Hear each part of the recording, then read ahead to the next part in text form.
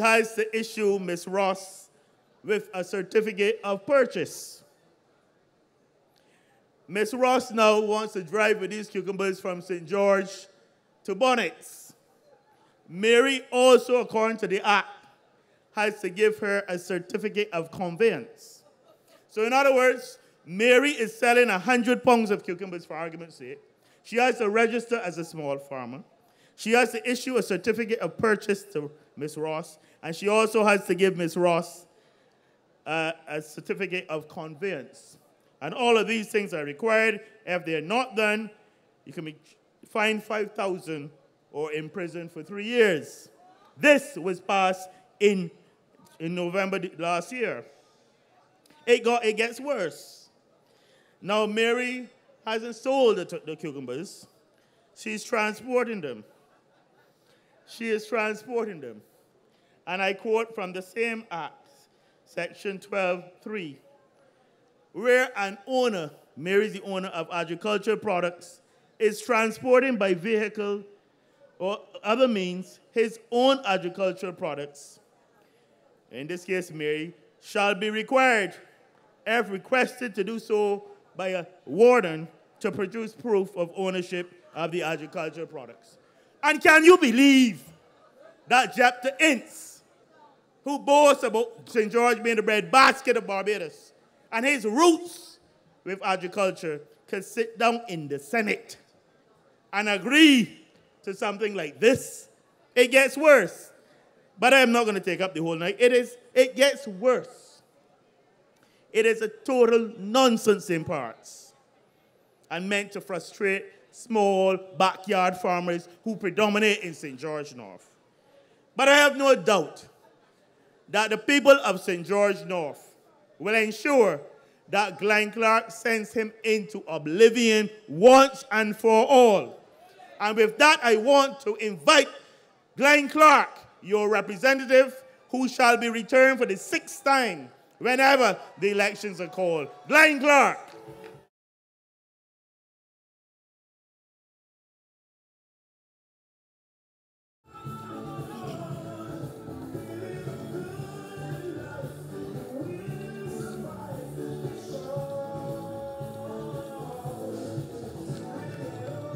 Come to Gline.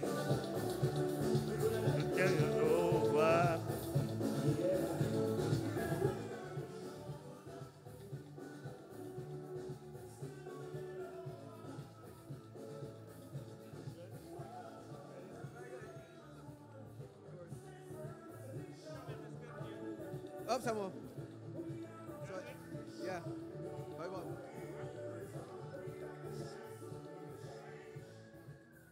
Good night to the people of Lower Estate. Good night to the people of St. George North. Good night to my supporters. Good night, good night, good night. Special good night to my team manager, Emerson Teddy Howard, and my team, Bison, Cool Bird, and all the others. I want to thank all those persons who have rallied behind me over the last 23 years. It is true, it is true that we are doing exceptionally well in St. George. It is true that we have won every box in the last 23 years except one. And we will win this box next election as God willing. I want to thank you. I want to thank the people of Lower Estate, especially and Parish Land. Thank the people of Charles Rowe Bridge and Salters who have rallied behind our team. And this year, I must say that we will do even better than the last 23 years. This box, which is called GF1, has been a DLP stronghold for a long time, even dating back to the days of Dowding. But what has happened over the past 50 years of DLP rule? What has happened over the past 50 years? We do not have very little, we have very little to show that was done, done by the Democratic Labour Party. I must say to you tonight that despite whatever, we have had great people who have followed us. And I speak tonight of a man called New Brand, who single-handedly introduced me over 22 years ago to this constituency, New Brand. And I want to single out him because he was a tower of strength. And of course, there's also the alleys across the road, Marcia, and the Prouts above there, and of course, my good friend Shirley, and of course, my family, the Farleys. I want to thank all of them. I want to thank tonight and thank my leader, who will be the next Prime Minister of Barbados. I want to say to you tonight that over the past 10 years in particular, we have seen Mia gone through the hottest fire. But she is the finest medal tonight. And she will be a great prime minister. She is not only a bright person, she is compassionate, she is hardworking, and she has united this party and bring it to a point where we build the next, we will be the next government. I want to say to you tonight, ladies and gentlemen, that this constituency is a good constituency.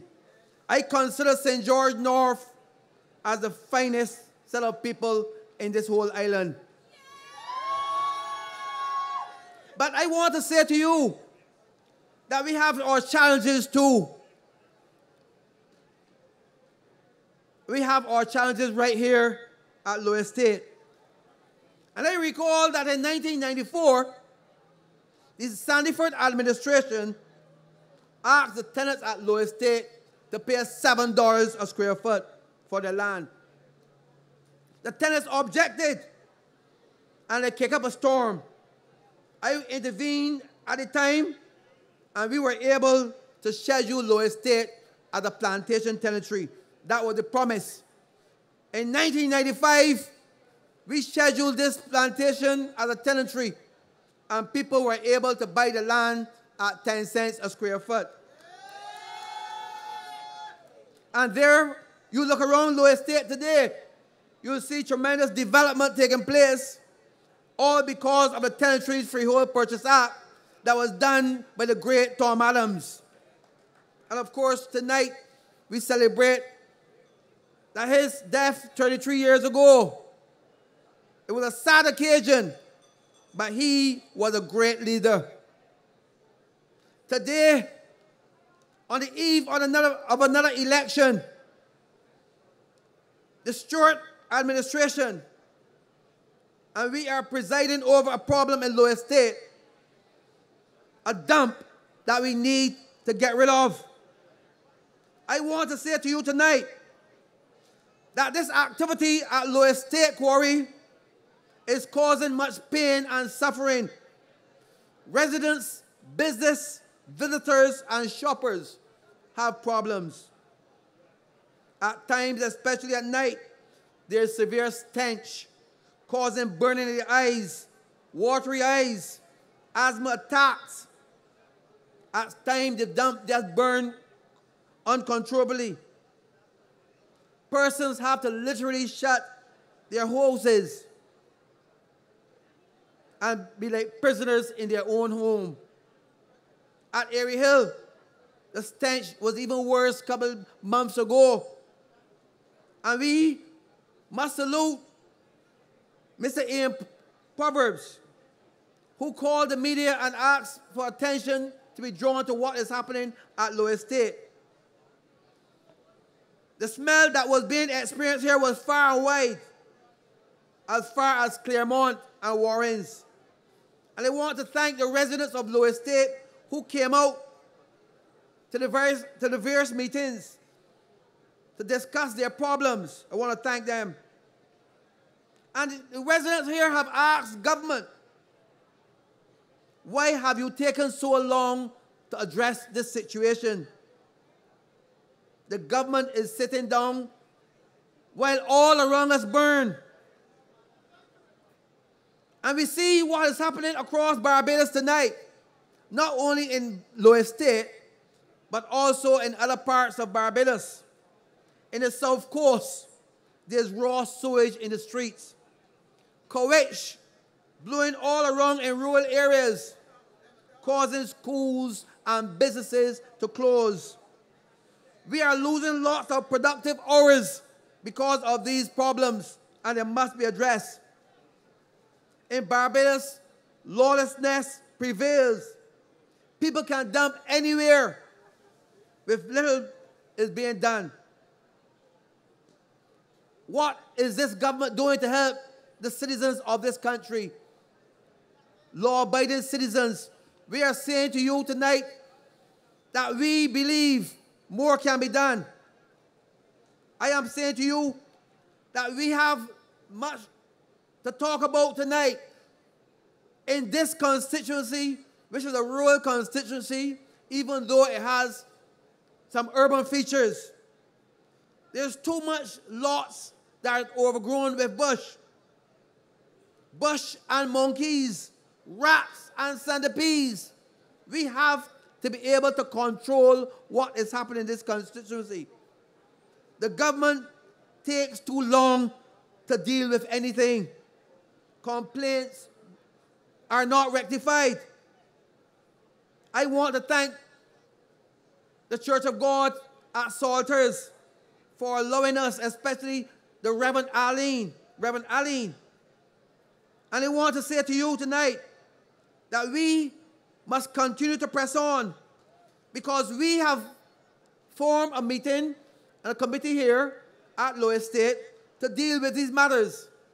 The ministry officials, inspectors came out, but very little has happened. A deadline was given on the December the, 20, the 31st for the developer to clear out the quarry. This has not been done. So that while the quarry burns and smell continues, the resident suffers. And we are saying to you that we believe that more can be done by this government. Very little is being done to solve the problem at Lower Estate. The residents are enduring this problem. I want to say to the residents of Lower Estate, this is indeed a nightmare. I also want to thank my leader who came up here several months ago to talk to the committee and offer her support. Mia came up here to the Church of God and spoke to the residents here that we know there's a problem and we have to solve it. We spoke to the minister. We spoke to people in authority, but nothing has happened over the past three or four months. I believe that a government has a responsibility to keep our environment free of pollution. The Ministry of Health and the Environment must be responsible for managing the cleanup, the cleanup of the site. The people of Lower Estate pay taxes. Illegal dumping in neighborhood is unfair and unlawful. This madness must stop. We want the government to do something about this.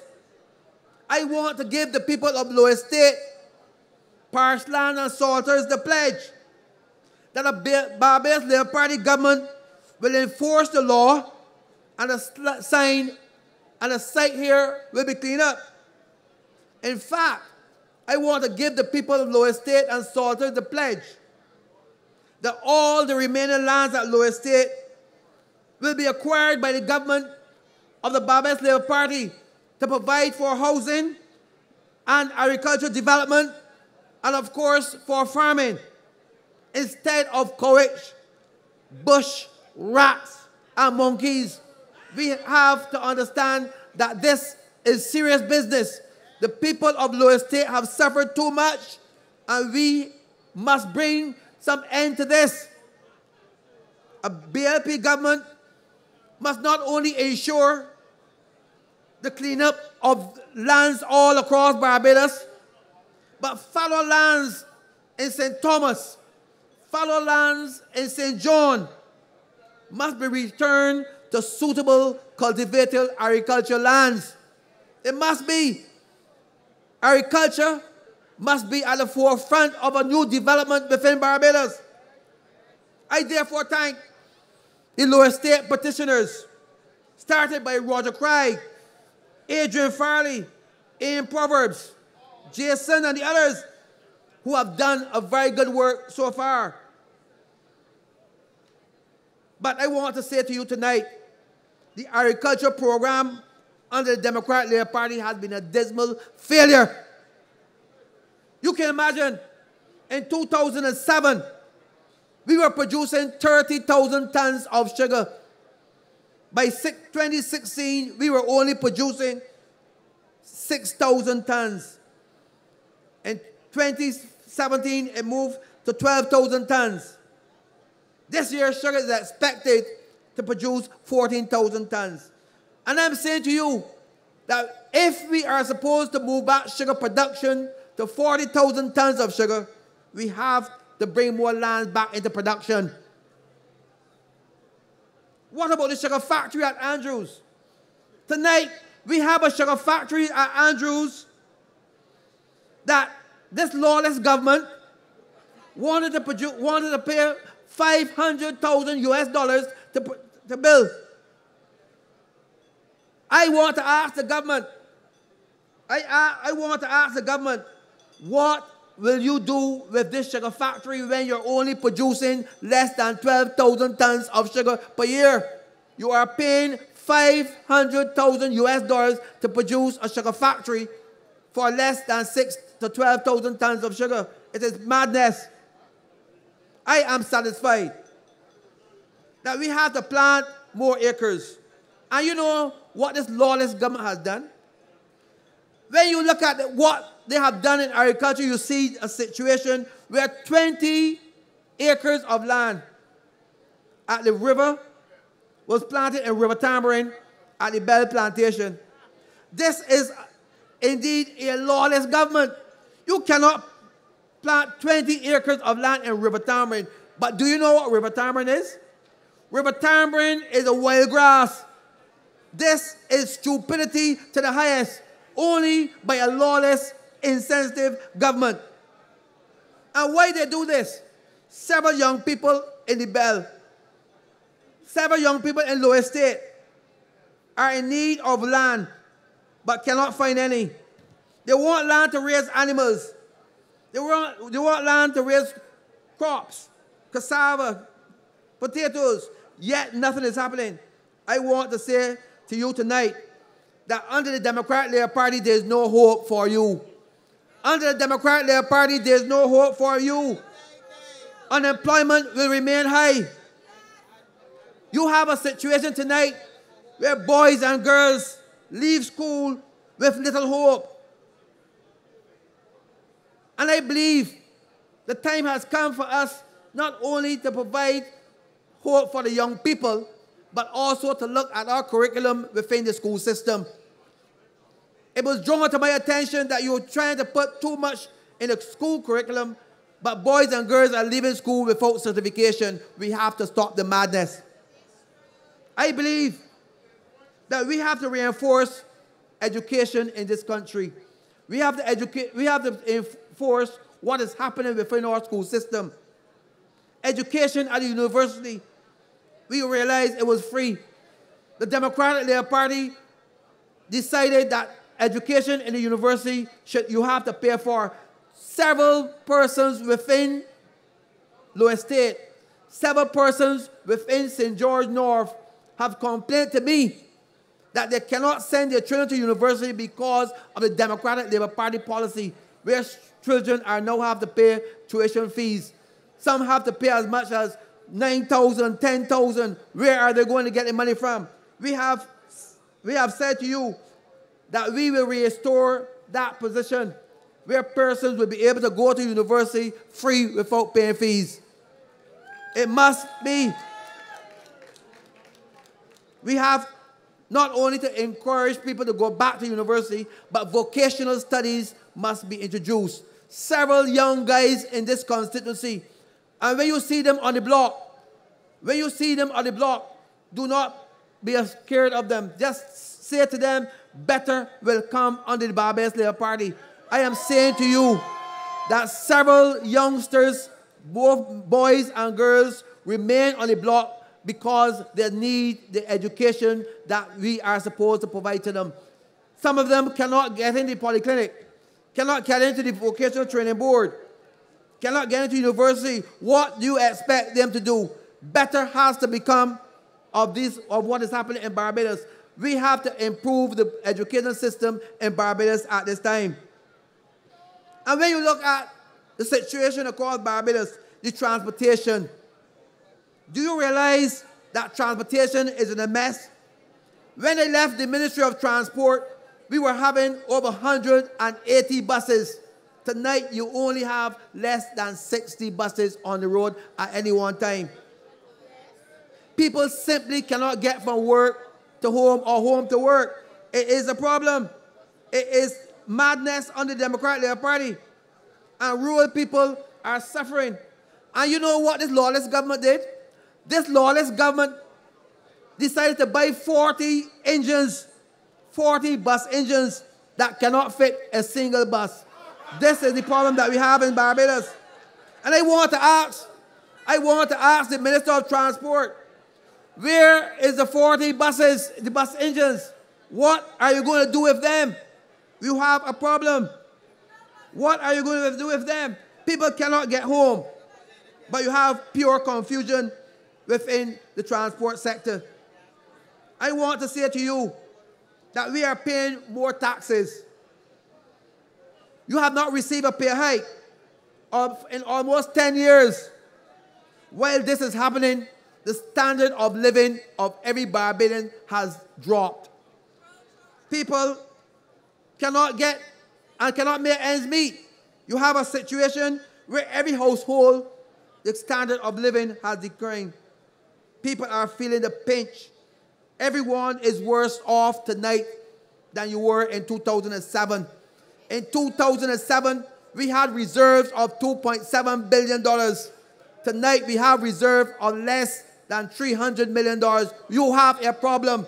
And the Democratic Party has carried this country to its knees. I want to say to you, the Democratic Party has raped this country. They has raped this country. And they reminded me of the Calisanos of Latin America, who raped not only the entire Latin America, but set out to rape those persons, other countries in North America as well. The Democratic Labour Party can be regarded as those thugs of Latin America who rape the countries. I am saying to you tonight that the economy of Barbados is in the worst shambles. I am saying to you that this government has to do more, has to do better. Any government coming after the Democratic Labour Party has to take a pause and clean up the dirty mess that we will find. I am saying to you, ladies and gentlemen, this must be taken seriously. Our future, our future, and your children's future must be taken seriously. I want to say to the people of Lower Estate and the people of Barbados, this is serious business. My father and his my father father was able to pass on to us something. I want to ask you the serious question tonight. What do you have to pass on to your children after the Democratic Party? What it is that you have to pass on to your children. You cannot pass on education. You cannot pass on wealth. What it is that you have to pass on to your children. And we have a situation where everything seems to be in confusion under the Democratic Party. We have a situation where this country is now regarded as the 21st corrupt country in the world. Can you imagine that? When I heard that a couple of days ago, it almost stunned me. Barbados is now among the corrupt countries in the world. This cannot be fair. There was a time when we were batting like Sobers. We were doing well. A former UN secretary said that this country was batting above its means. And today, what do you have? We are the laughing stock of the entire Caribbean. And you know, when you heard Thompson, when you heard Thompson said several years ago that he was going to kill the fatted calf, you, the people of this country laugh. He did kill the, the fatted calf. And what do we have? The fatted calf was divided among the DLP supporters. And what do you have tonight? A country that is reeling under poverty. I say to you that hardship abounds. There's tremendous hardship in this country. Some children cannot go to school. Some children go to school and come back and find cupboards empty right here at Low Estate. I have passed homes of old people that cannot be fixed. I have passed homes of young people that need fixing. The Democratic Labour Party has not done anything in this constituency for over 10 years. And it burns me because when I came to, when I came to office in 1994, I pledged to the people of St. George, I will do my best at all times to make sure that this people do not laugh at the people of St. George. And we developed this constituency more than ever. We were able to put in five housing areas a police station, a resource center, a, agriculture market, roads after roads we were able to do. Within the last 10 years, nothing has happened in St. George. Very little.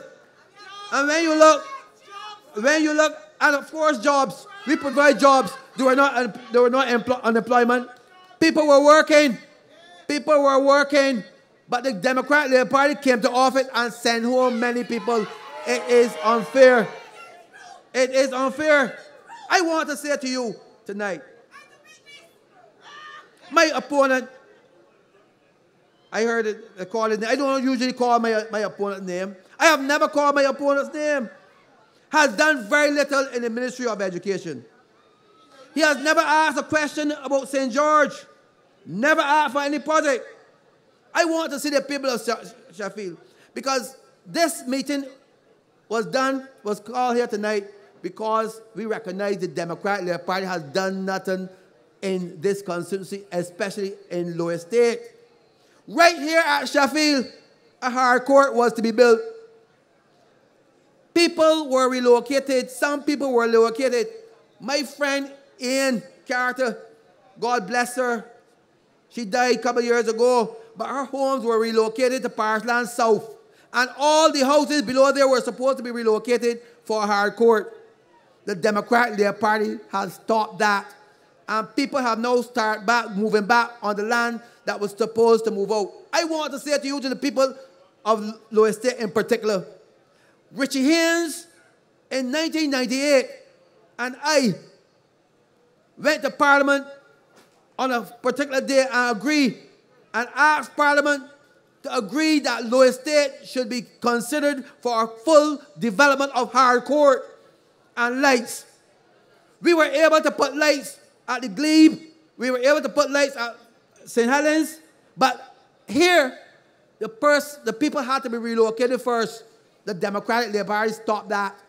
They stopped that, similar to what they have done at the Glebe. A pavilion was supposed to be erected at Glebe. The Democratic Labour Party stopped that as well. And Jephthah Ince should be shamed to come to the people of this constituency and ask for a vote. I am saying to you that hardship abound. But what do you expect? What do you expect from a man who was deputy minister or junior minister in the Ministry of Finance? And he said, he said that Barbados dollar had no value and therefore cannot be devalued. What a waste. This is the type of people we have running this country. We have Sinckler on one hand and Jephthah Ince on the other hand, who does not know the difference between a physical deficit and a fiscal deficit. He is a madman.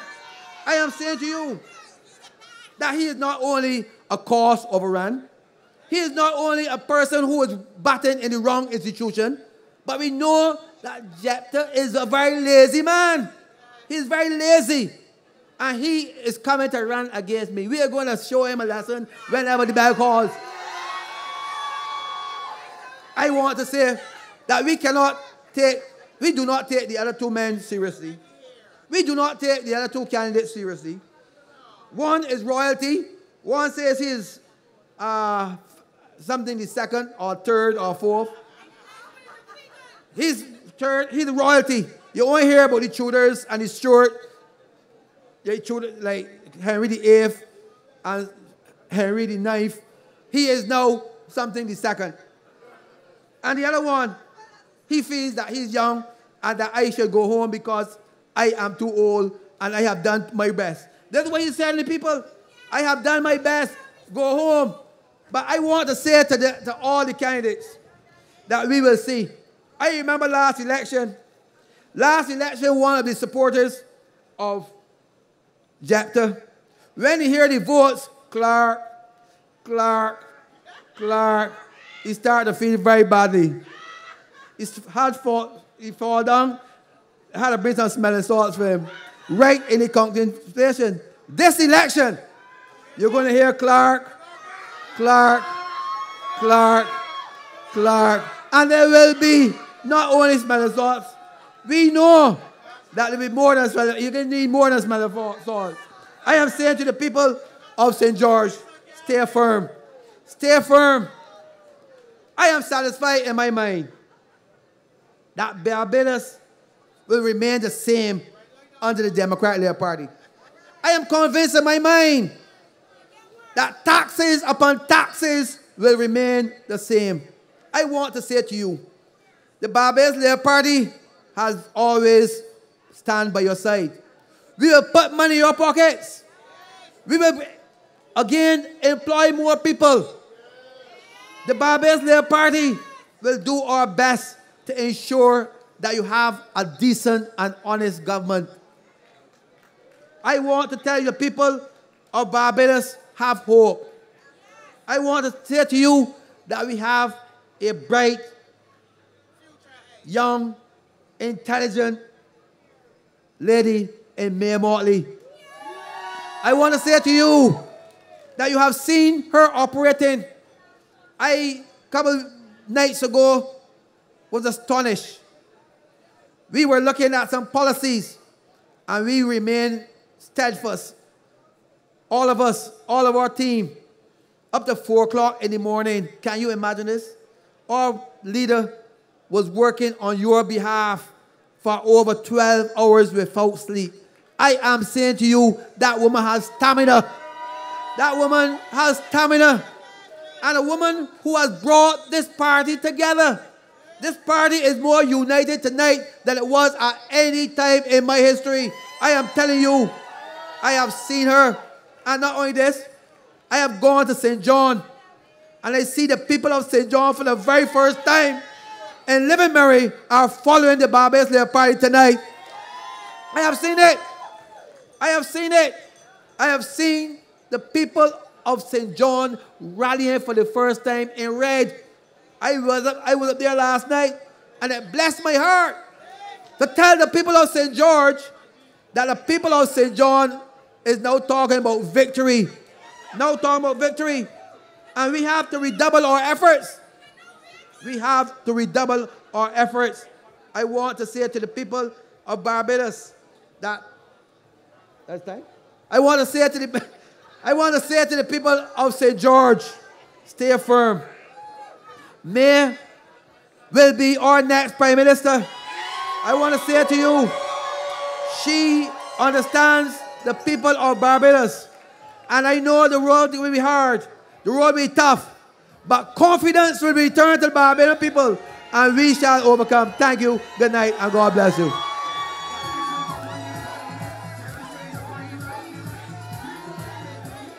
Good night, ladies and gentlemen. Can I have your attention, please? The driver of G5859, please remove your vehicle immediately. That's G5859. Please remove your vehicle immediately. Thank you. Thank you.